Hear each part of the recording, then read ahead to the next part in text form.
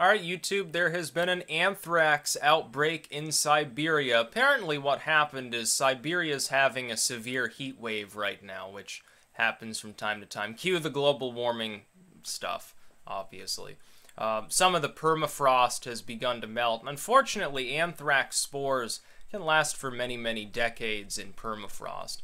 Uh, thus, reindeer have been infected and they've been dying by the thousands. They've quarantined the region uh, and now you've got this relatively remote sort of tribal location in northern Siberia uh, where all the reindeer, which people there still they need it for food, uh, are dying off, and so Russia has sent in a bunch of gas mask enabled uh, sort of hazmat troops in order to vaccinate people, vaccinate the animals, and try to stop this from uh, spreading any further. Now, thankfully, anthrax, especially uh, if infected through the skin, has a tendency, if you're treated for it, you tend to live. It's not actually, unless you have like an anthrax bombing and you've got 10,000 sick people at the same time, you can probably control the situation.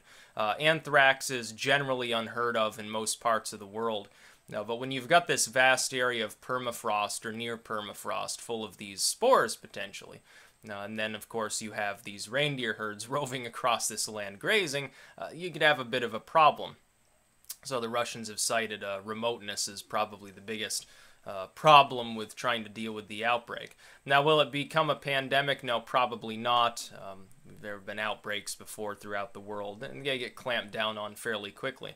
But this is probably the the best new example I can give of why we really shouldn't be worrying about some fucking disease like Zika that causes uh, 1 in 10,000 children to be a golem.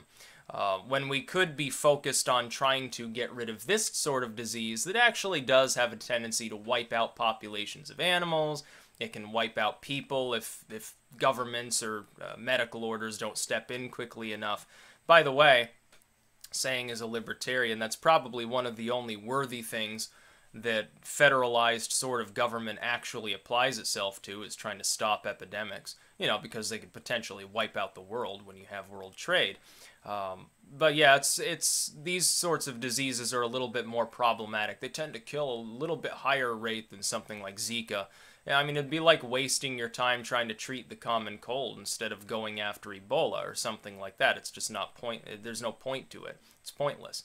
Um, so hopefully they'll be able to clamp down on it. I know they had a plague outbreak as well not that long ago. They began sort of going around trying to destroy the rodents and, and keep people uh, treated so they wouldn't fucking keel over. China had a plague outbreak, I believe, two years ago in one of its remote provinces, and the Chinese military very quickly lined up their tanks and their and so forth around the border of the infected area. Didn't let anybody in or out until everybody had been taken care of. Uh, it's a, a, bit of a draconian response, possibly, to keep people from being able to uh, travel or, or go to work potentially or whatever. But in such a situation, I can understand at least why people would be acting more pragmatically than ideologically uh, to try to stop such a disease. And like the Ebola virus, of course, uh, the international community had to step in, and the response was so retarded, 20,000 people ended up keeling over. Uh, Russia, thankfully, because this is a remote location, there's a fairly small chance that the uh, anthrax would spread beyond the general region if they act in time. Um, and also, this is a sparsely populated part of Russia. It's not exactly like Moscow, where you have millions of people in a few square miles. Not quite the same thing. It's probably not a million people for a hundred miles around in most parts of this region uh, that's been infected, far north Siberian Russia. Siberia is about the most inhospitable place you can possibly go either, other than maybe like Kamchatka, where you've also got big-ass bears. You get even higher concentrations. You know, oh, we're frostbound eight months out of the year. We have like a month-long summer, and then the bears come out and they steal all of our fucking berries and kill our reindeer oh, what a life we lead. I know the Russians announced some sort of program, uh, I think, again, like two or three years ago, where they were going to try to settle people in Kamchatka, actually. Uh, this vast area is large. I mean, it's not that it's not fertile. It's not that you can't farm it or hunt or, or gate and get lumber or something. It's just nobody wants to live there. So they're saying, oh, you learn Russian and you can come here and get free land, you know, free Russian waifu or something like that. Um, that's basically the plan. Not a bad idea either. Uh, Russia, if if it plays its cards right, it could develop into quite a, a powerful nation. It's just that they haven't quite made the transition yet, and unfortunately, right now they're being stalled out by oil prices because that's a large proportion of their economy. Uh, I've been critical of Russia before. I don't wish any ill upon the Russian people. I just think that Putin is a little bit of a dictator light.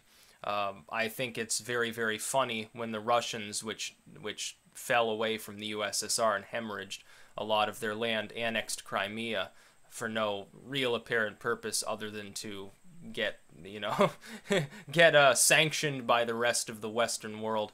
I thought that was slightly funny. I felt more sorry for the Ukrainians at that point than I felt for the Russians.